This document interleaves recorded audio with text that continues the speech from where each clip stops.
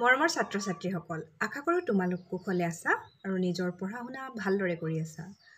মই আজি তোমালোকৰ বাবে এখন ৰচনা লৈ আহিছোঁ। ক'ভিড নাইণ্টিন আৰু ইয়াৰ প্ৰভাৱ।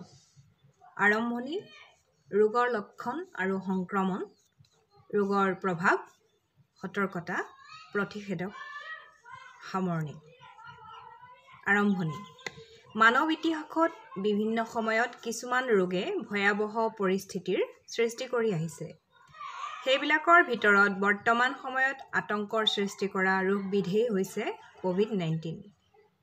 ই হৈছে এক প্ৰকাৰৰ S A R S CoV two ভাইৰাছজনিত সংক্ৰামক ৰোগ। ই দুহেজাৰ ঊনৈছ চনত চীন দেশৰ ইউহান চহৰত প্ৰথমে ধৰা পৰিছিল আৰু ক্ৰমে গোটেই বিশ্বজুৰি সিঁচৰতি হৈ পৰিছে। ক'ভিড নাইণ্টিনৰ সম্পূৰ্ণ নাম হৈছে ক' কৰোণা উই virus D disease nineteen two thousand nineteen. অৰ্থাৎ ক'ভিড নাইণ্টিন হৈছে টু থাউজেণ্ড নাইনটিনৰ বা দুহেজাৰ ঊনৈছ চনৰ কৰোণা ভাইৰাছৰ পৰা হোৱা এক সংক্ৰামক ৰোগ। বিশ্বজুৰি আতংকৰ সৃষ্টি কৰা এই ৰোগে বৰ্তমানলৈকে লাখ লাখ মানুহক মৃত্যুৰ গৰাহলৈ ঠেলি দিছে। ৰোগৰ লক্ষণ আৰু সংক্ৰমণ। ক'ভিড নাইণ্টিন ৰোগৰ মুখ্য লক্ষণসমূহ হৈছে জ্বৰ শুকান কাহ আৰু ভাগৰ লগা। গৌণ লক্ষণসমূহ হৈছে মূৰ কামোৰণি গাৰ বিষ ডিঙি চেৰচেৰোৱা। পানী পায়খানা হোৱা সোৱাদ আৰু গোন্ধ নোপোৱা চকু ৰঙা পৰা ইত্যাদি। এই ৰোগৰ গুৰুতৰ লক্ষণসমূহ হৈছে উশাহ লোৱাত কষ্ট পোৱা বুকুৰ বিষ কথা ক'ব নোৱাৰা আৰু খোজ কাঢ়িব নোৱাৰা ইত্যাদি। অৱশ্যে এই লক্ষণসমূহ ব্যক্তিভেদে বেলেগ বেলেগ হোৱা দেখা যায়। এই ৰোগ ভাইৰাছ সংক্ৰমিত ব্যক্তিৰ সংস্পৰ্শলৈ আহিলে বিয়পে। এই ৰোগত আক্ৰান্ত হোৱা এজন ব্যক্তিয়ে কাঢ়িলে বা হাঁচি মাৰিলে বা কথা পাতোঁতে ওলোৱা কণিকা আন এজনৰ গাত পৰিলে ৰোগ হুঁচৰিব পাৰে। তাৰোপৰি আক্ৰান্ত ব্যক্তিৰ সংস্পৰ্শলৈ অহা বা তেনেলোকে ব্যৱহাৰ কৰা বস্তু চুই চকু নাক আৰু মুখত হাত লগালেও এই ৰোগ হ'ব পাৰে। এই ৰোগৰ প্ৰভাৱ। কৰোণা মহামাৰীয়ে বিশ্বৰ অৰ্থনীতিক অধিক ক্ষতিগ্ৰস্ত কৰে। মহামাৰী নিয়ন্ত্ৰণৰ বাবে পৃথিৱীৰ প্ৰায়বোৰ দেশে তোলা বন্ধ দৰে ব্যৱস্থা গ্ৰহণ কৰাৰ ফলত প্ৰতিখন দেশৰে কৃষি শিল্প বাণিজ্য যাতায়ত আদি সকলো দিশতে বিস্তৰ ক্ষতিসাধন হয়। এই মহামাৰীয়ে সামাজিক জীৱনতো বেয়াকৈ প্ৰভাৱ পেলায়। সামাজিক জীৱনত বা সামাজিক দূৰত্ব বজাই ৰখাটো জৰুৰী হৈ পৰাৰ বাবে সকলো ধৰণৰ সামাজিক অনুষ্ঠান উৎসৱ পাৰ্বণ বাতিল কৰা হয়। এই মহামাৰীয়ে শৈক্ষিক দিশত বিশেষ প্ৰভাৱ পেলায়। এই ৰোগৰ ভয়াৱহতাৰ প্ৰতি লক্ষ্য ৰাখি স্কুল কলেজকে ধৰি সকলো শিক্ষানুষ্ঠান দীৰ্ঘদিনৰ বাবে বন্ধ কৰি দিয়া হয়।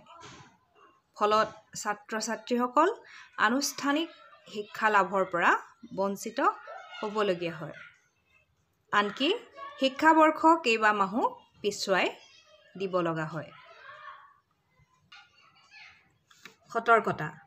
যিহেতু ক'ভিড নাইণ্টিন ৰোগত আক্ৰান্ত হৈ বহু লোকৰ মৃত্যু ঘটিছে সেয়ে এই ক্ষেত্ৰত সাৱধানতা অৱলম্বন কৰাটো নিতান্তই প্ৰয়োজনীয় বা প্ৰয়োজন হৈ পৰিছে। সংক্ৰমিত ব্যক্তিৰ পৰা আঁতৰত থাকি এই ৰোগৰ পৰা হাত সাৰি থাকিব পাৰি। লগতে নিম্নলিখিত সতৰ্কতাসমূহ বজাই ৰাখিলে এই ৰোগৰ সংক্ৰমণ ৰোধ কৰিব পাৰি। এক সামাজিক দূৰত্ব বজাই ৰখা। দুই মাস্ক পৰিধান কৰা। তিনি সঘনাই চাবোনেৰে হাত ধোৱা বা চেনিটাইজাৰ কৰা। চাৰি হাতৰ তলুৱাৰে মুখ নাক বা চকু স্পৰ্শ নকৰা। পাঁচ পুষ্টিজনিত খাদ্য খোৱা ইত্যাদি। প্ৰতিষেধক। প্ৰতিষেধক হৈছে ক'ভিড নাইণ্টিনৰ দৰে মহামাৰী প্ৰতিৰোধ কৰাৰ একমাত্ৰ উপায়।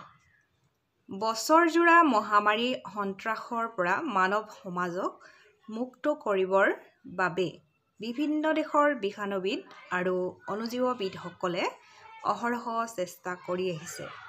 তাৰে কেইটামান প্ৰতিষেধক মানৱ দেহত সফলতাৰে পৰীক্ষা কৰা হৈছে।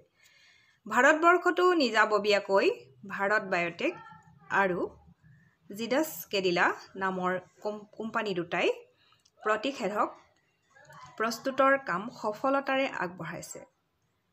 বৰ্তমান দেশৰ বেছিভাগ লোকেই প্ৰতিষেধক ল'বলৈ সক্ষম হৈছে। সামৰণি। কৰনা মহামাৰীয়ে একবিংশ শতিকাৰ মানৱ সমাজক প্ৰায় পংগু কৰি পেলালে। বিশ্বৰ প্ৰায়বোৰ দেশতে আক্ৰান্ত আৰু মৃত্যুৰ সংখ্যা অতি বেছি। সকলোৰে প্ৰতিষেধক লোৱা কাম শেষ নোহোৱালৈকে সকলোৱে এই তাৎক্ষণিকভাৱে সোঁচৰা ৰোগবিধৰ পৰা বাচি থাকিবলৈ ব্যক্তিগত ব্যক্তিগত সাৱধানতা লোৱা অতি আৱশ্যক। ক'ভিড নাইণ্টিনৰ নাইণ্টিন ৰোগ ৰোগ নিয়ন্ত্ৰণৰ বাবে চৰকাৰ বিভাগীয় কৰ্তৃপক্ষ ডাক্তৰ নাৰ্ছ আৰু অন্যান্য কৰ্মচাৰীসকলে যি ধৰণৰ কাৰ্যপন্থা গ্ৰহণ কৰিলে সেয়া সঁচাকৈ প্ৰশংসনীয়। সেয়ে এই ৰোগ প্ৰতিৰোধ কৰিবলৈ আমি জনসাধাৰণেও চৰকাৰক সহযোগ কৰিব লাগিব। ছাত্ৰ ছাত্ৰীসকল আজি মই তোমালোকক ক'ভিড নাইণ্টিনখন ৰচনাখন দিলোঁ আৰু পিছৰ পৰ্যায়ত মই তোমালোকলৈ অন্য